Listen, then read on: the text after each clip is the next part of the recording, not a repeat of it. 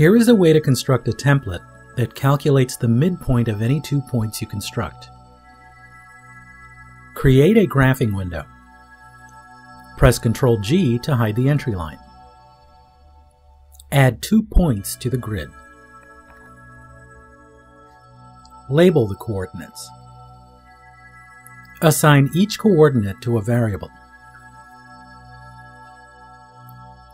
Use these variables to calculate the midpoint in a spreadsheet formula. First, create a split screen. Create a spreadsheet in the new window. Create formulas for the x and y coordinates of the midpoint. You will be asked if the x1 and x2 refer to the variables you created or the cell references in the spreadsheet.